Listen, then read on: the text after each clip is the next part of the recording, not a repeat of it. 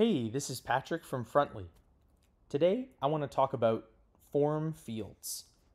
In Frontly, when you create a form, by default, the fields will be plain text fields, but you often want to change the type to something like a select dropdown or a date picker or something like that. So this tutorial is going to show you exactly how to do that. Let's get started by creating a page. And I'm going to call this page orders because my sample data set is a list of e-commerce orders. So I'll be using that for this tutorial. I'm going to create a form block and I'm going to select my e-commerce orders spreadsheet and then adjust my form to create mode. This would be for creating new rows in my e-commerce orders spreadsheet. So now that we've added a form, you can see my fields and there are about 10 or 12 fields here and they're all plain text fields. So that's totally fine. There's an email field here, there's some price fields and an order date field. A few of these fields would ideally be more than just a plain text field. We'd probably want a select dropdown for the specific statuses that my data allows. And for the order date, ideally that would be more like a date picker kind of component. So let's set that up. Let's start with the status field. And if I go click on any field in this list over here, I'll get a menu just for editing that field. If you see here, the field type can be adjusted. By default, it's an input, but there are about eight or 10 options here. And the first one is going to be a select. Now that's what I want. This is a select dropdown. If I click that, Frontly automatically detects the values from my spreadsheet and populates them here. You can see processing, shipped, and delivered. Those are the three values that Frontly detected in my spreadsheet, which are in this status column. Now, if I want, I can actually customize those, although they're just based on my real data, but let's say I want to have a new status called new, or maybe canceled. I can do that, and right away, that's added. So now my users are only able to select from these options instead of just a free form text, which can be really valuable for validating data. And let's continue. So let's check out the order date field. Again, it's an input. And in this case, I want to select the date type. Without making any other changes, we can see that the order date field has become a date picker where I can actually click on dates in a calendar.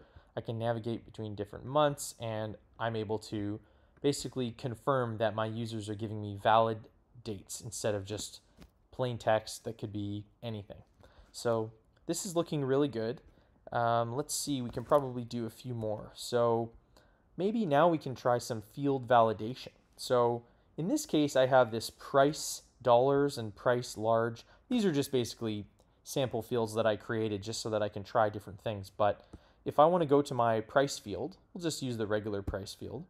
And I can keep it an input, but instead of changing the type like this, I can go down into the field validation settings. Now this is different because it's still a text input, but when I type into the field, if I've added validation, Frontly will make sure that it's a valid value that complies with this rule. So in this case, I could say is price, and this will tell Frontly that there should be a, a dollar amount essentially in this field before I submit.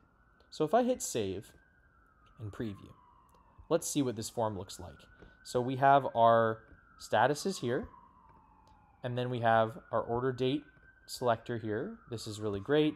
We have a bunch of plain text fields, and then I have a price over here. Now, I didn't add any other particular validation to these fields, but if I hit Save New Record, Frontly will automatically require that all of these fields are filled out. This is a setting that we can adjust, but I think it's a pretty good default because you probably don't want to have a bunch of blank data in your spreadsheet. Now, this is required, and because it's totally empty, that's the message we're giving right now. But if I try typing in something like ABC and then hit save, you can see invalid price format. So not only are we requiring that the field has some data, but we're actually validating what type of data. And so you can go through your different settings and you can make these adjustments. Now, just to show you how this works, if I go to my product field and I go to my validation, you can see required is on by default. But if I turn that off, then we go back and save. I'll just refresh my page. So if I hit save, product is not required anymore. So it's not having this validation error. And so it's up to you if you want your fields to be required and what types you want to set. But you can see how flexible it really is when you start adjusting the values. There's validation for even a valid email. So you can say is email, and that will require that the field exists, there's a valid value, and it's an email address. So Frontly takes care of some of that hard work for you, helps keep your data nice and clean and consistent. So there's the form block. Now, all of these same ideas apply when you're using one of the other blocks like a table and you have this default form that pops up. So I'll just run you through that just to make sure you know how to find those settings. I'll go to my e-commerce orders. So we have a page that displays all of my e-commerce orders. Now you've probably seen this if you played around with Frontly. By default, without making any adjustments, if you click on a record in one of these blocks, you'll get a form that pops up and has the values and you can edit them. But again, these are all just plain text. So we want to add some validation. And because it's in the table, the form isn't the core part of it. The settings are in a slightly different place. In this case, you want to go to the actions and then you want to click on edit default detail view. So that's what this is called right here. This is the detail view that pops up to show you the details of the record that you click on.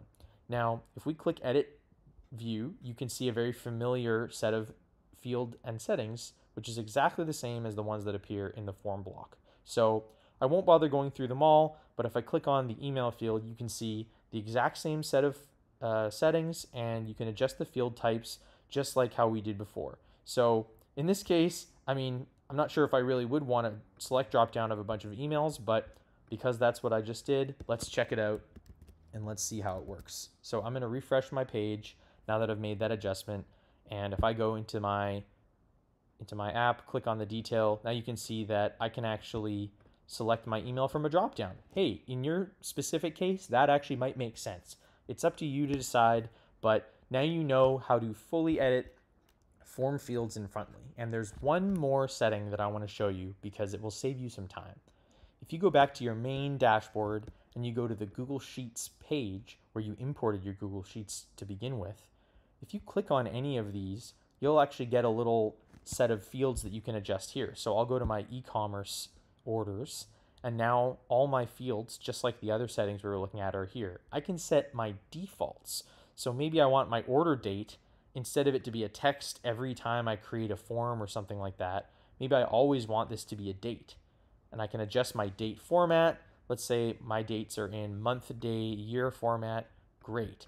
Now, when I create a new page in Frontly, instead of having to adjust that every time, it's going to be automatically handled. So the power is in your hands Go play around with forms and build an awesome app.